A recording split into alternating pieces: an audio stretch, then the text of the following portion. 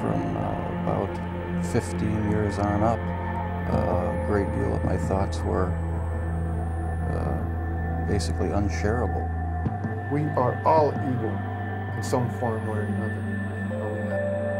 Yes, I am not 100%, but I am you. My mother was a, a sick, angry, hungry, and, and very sad woman. I hated her, but I wanted to love my mother. This is Serial Killing, a podcast. Hello again, and welcome to Serial Killing, a podcast. My name is Elissa Kerrill, and in this podcast, we are going to be veering off the serial killer path to delve into other topics within our beloved true crime community. Special thanks to some of my patrons, of course. Elena, Aaron, Katores, Catherine, Sam, Linda, Janice, Hammer, Katerina, Florence, Teresa, Sarah, Sophie, Nanette, two Emmas, Emily, Gabrielle, Gaylin, Cassandra, Bree, David, John, and my girl Judy. Thank you so, so much. I truly appreciate you. This is a patron requested episode, so we're going to be discussing the Goler clan. So, let's begin. The Annapolis Valley in Nova Scotia, Canada, is an established wealthy farming community dating back to the very early 1800s. But above that valley, in the hills or mountains known as South Mountain, lives a far less fortunate group of people. You see, the soil there was not as good and suitable for growing a great many kinds of crops. So these people traditionally worked to make barrels for the apple orchards in the valley, or they worked as laborers for the orchards. And then as the years went on, they began to be replaced by machines or other modern technology. And as these things go, unfortunately, the families up in the hills were left with no job, no paycheck, and many were bound by poverty. And so, with this poverty and little to no opportunity, many didn't get much of an education either, and that meant many weren't able to read or write above a lower elementary level. This combination, of course, led to the inevitable bullying, so it didn't take long for the people who lived above that valley to begin to just keep to themselves, which is understandable. They did the very best they could, and what vegetables they could grow were things like potatoes or turnips, but not even enough to really turn any kind of a profit. And so they fished and hunted to be able to have meat to supplement their food. For generations, this is how these people survived. This held especially true for the Goler family, this family, in particular, became so isolated and withdrawn that even when the occasional outsider attempted to get to know them, they were met with verbal and, on occasion, physical assault. So, who are the Golers? To be honest, I don't even know where to begin or exactly how to tackle this. So I'll start as far back as I could find, and even then, the records are difficult to get organized because there are quite a few reliable and upstanding sources that give some of these people different middle names or some of the women different last names and so on. Also, birth records could be off a year or two, so I put together what I could find the best I could. So, the furthest back I could find, the original Goler to the land in Nova Scotia was Silas Monday Goler. Now, it was said that Silas was either a Native American or possibly a captured man from Asia, brought into slavery in Virginia, and as the tradition went, he used his slave owner's last name of Munday. Amelia was his African bride, who was said to have been brought to the United States from Syria, which was then a trading post for African slaves from Nigeria or possibly Egypt, so she could have been from either of those places.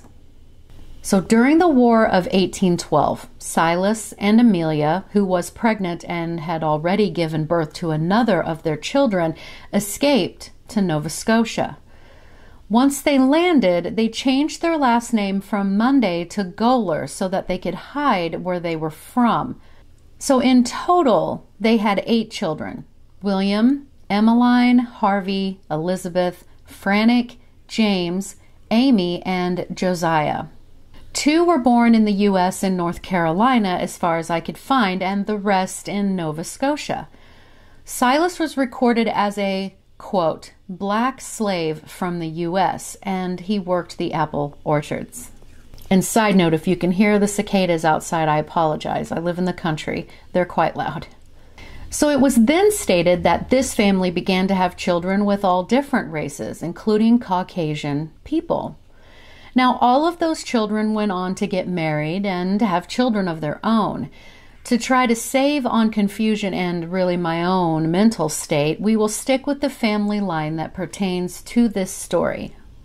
So, Silas and Amelia's son, that was born on the ship on their way to Nova Scotia, William, went on to marry a woman named Maria Best. Together, they had seven children. The one that we will be following down the line was their son, James Thomas, who went by Thomas, born in 1840. And now here's where things get a little complicated. He had three wives slash common law wives, which I assume were at separate times. The first was Louisa Reed, who had been with a man named Oscar Kelly previously, and they had had one child prior to Louisa getting with Thomas. Oscar died at sea. Thomas and Louisa were never married, apparently, but they had four children together. Then Thomas abandoned her for the late Oscar's sister, Rachel. But don't worry, Louisa was fine. She went on and met someone else and then just kept having children. Thomas did actually marry Rachel in 1886. Now, I couldn't find whether or not they had had any children together, but she did die two years after the marriage, perhaps in childbirth, but I don't know. Thomas then married Lilia in 1890, and they also didn't have any children that I could find. But that is immaterial because the next generation comes from the four children that Thomas had with Louisa, his first common law wife. So, Thomas Henry, or Hen Goler, was born in February 1877 in Kings County, Nova Scotia. His birth records do say that he was an illegitimate child, which matches with what we know about his parents never being married. He grew up to marry Mary Agnes or Mamie Welsh in 1906. This union would produce eight surviving children, though some were born prior to the marriage. Charles, born in 1905, Catherine, who also went by Kathleen, in 1908, William, born in 1909, Florence in 1911, Cranswick in 1914, Mary Elizabeth the next year, Leota in 1919, and Madeline, who also went by Mildred, in 1920. They did have other children actually, and their infants that died were a baby in 1907 who died during childbirth, baby Henry Thomas, who died when he was four months old in 1920, and baby Josephine Lydia, who died 28 days after birth in 1824. So I said all of that to say this. The eldest son, Charles, is the line we are going to follow now, the patriarch of our main story. He married a woman named Stella Welsh, who has the exact same last name as his mother's maiden name, Welsh. As far as I could make out, Stella and Charles's mother were at least cousins. This means Charles married his second cousin, allegedly. Also, Charles's sister, Mary Elizabeth, also married James Welsh, so that related her to her grandmother and her sister in law. So Charles worked for Canada Packers as well as working on a local farm, that is, when he could get work. Stella was most definitely the matriarch of this family and by all sources was basically the boss. Together, Charles and Stella had nine children. Marjorie Stella Jr., I'm going to call her Stella Jr., Mary, Josephine, Charles Jr., William, Thomas, Cranswick II, Cecil, who was born and remained nonverbal and paralyzed from the neck down and had to be cared for in a wheelchair. So, if I did my math correctly, this group of kids makes the fifth generation of Golers that had lived in Nova Scotia. And also at this point, I'm betting you've probably picked up on the theme of this family poverty and incest. They lived in utter poverty, actually, in two very basic, rundown shacks, very remotely and removed from society on the property they had occupied for so long on that south facing side of South Mountain. They were isolated from their local community and farmers, albeit purposefully, and they very much preferred it that way. Nearly all of them had very little education. They also rarely ever worked or were able to, except occasionally to help out local farmers, and therefore they survived mainly on welfare.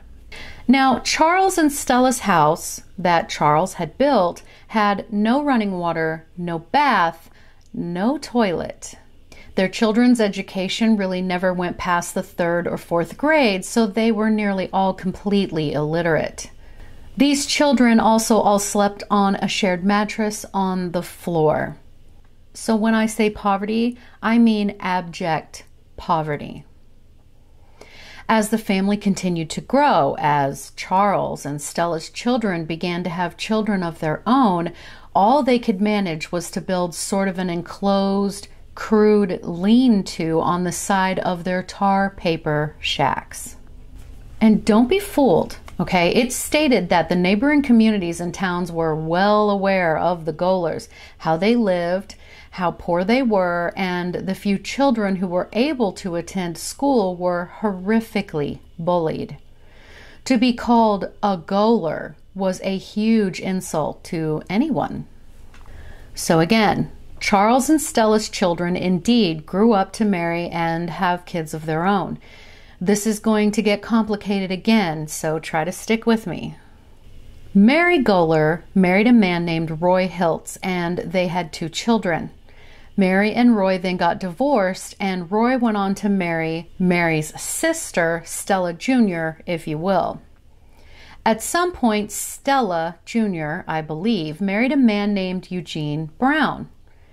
Mary and Stella Jr.'s brother, William, married a woman named Hazel Finch.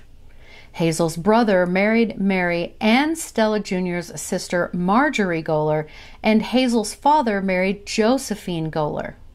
And the other siblings were married to other people, and are you with me so far?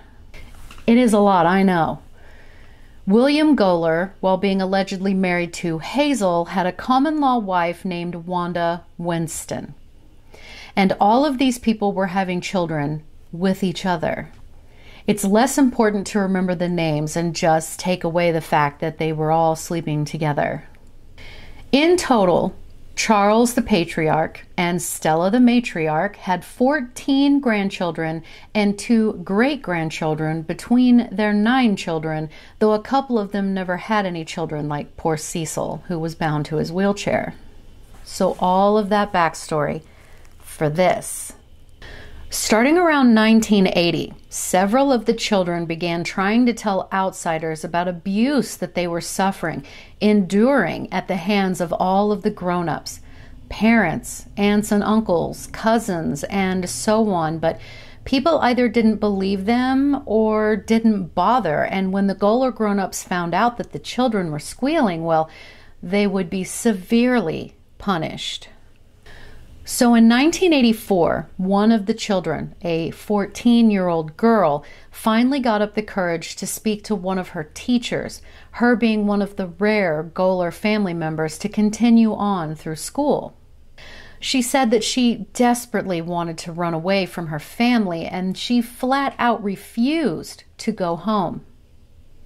She said that her father, though I'm not sure which man was her father, was treating her like a wife having intercourse with her up to 15 times a month and telling her that she was going to carry his children. Horrified, of course, the teacher and the school contacted the authorities, who came and took all of the children away and questioned them.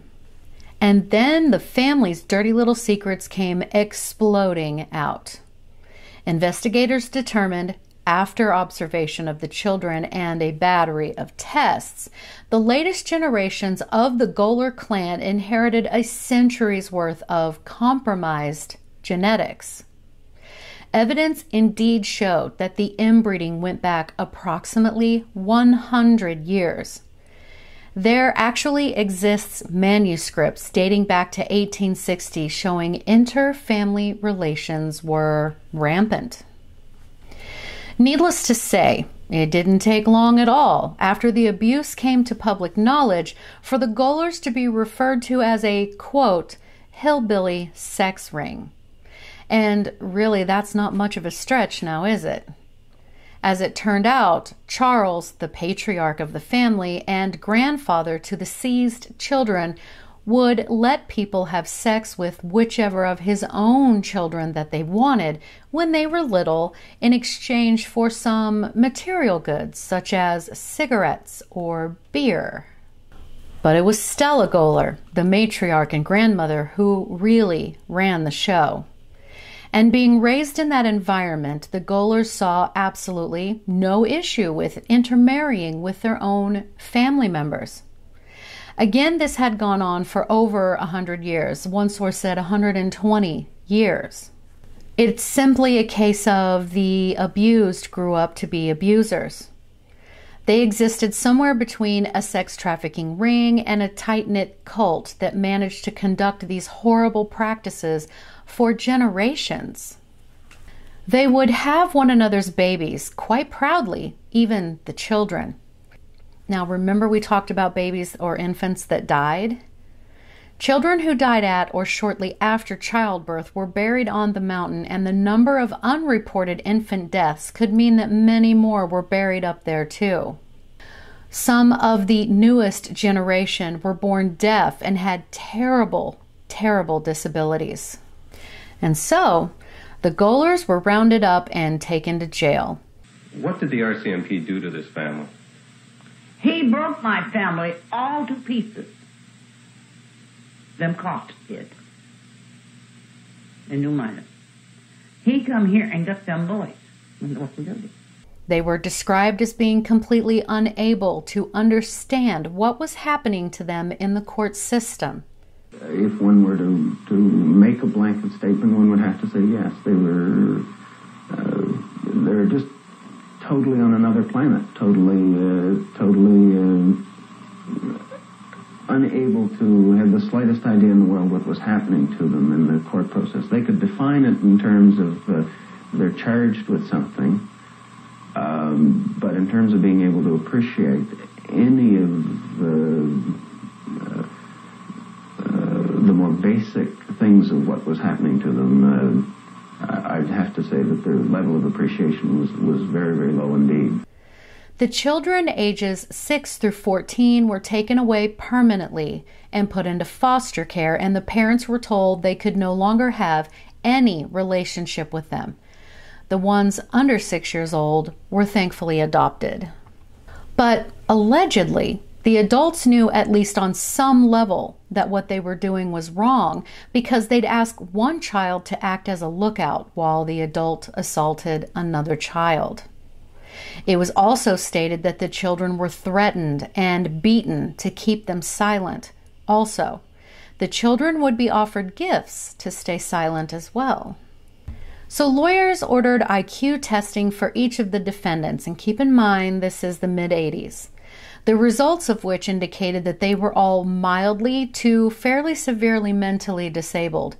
Quote, operating in the bottom 1 to 2% of the overall population. End quote. Again, it was brought up that they got between a second to fourth grade education, and most of them were not really able to read or write at all or with any proficiency.